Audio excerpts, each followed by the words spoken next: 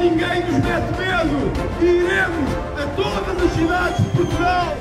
Nós não queremos ter votos por ter votos. Eu não quero que ninguém vote no Chega ao engano. Quem votar no Chega tem que saber no que está a votar. Nós não viemos para arranjinhos, não viemos para fazer acordos por baixo da mesa, não viemos para fazer negociatas à última hora. Nós vamos apresentar um conjunto de medidas que Portugal tem urgentemente que implementar. Talvez todos vós não saibam, mas para além de termos enviado quase meio milhão de cidadãos para a pobreza no último ano, nós fomos ultrapassados por países que há bem poucos anos poucas estruturas tinham de desenvolvimento económico. Fomos ultrapassados pela Estónia, pela Letónia, pela Lituânia. Isso devia-nos melindrar e ferir um orgulho de uma nação com tantos séculos de história e tanta grandeza. Mas os políticos de Lisboa não se importam com isso. Desde que eles estejam cada vez mais ricos, o que importa é continuar a gamar que a malta gosta.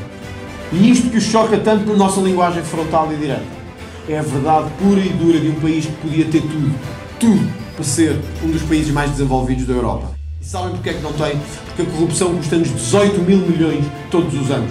18 mil milhões é o orçamento da saúde, da educação, da ciência e do ambiente. Todos os anos perdemos isto para esta corja de corruptos que andamos a sustentar há 47 anos. Esta é que é a verdade que custa ouvir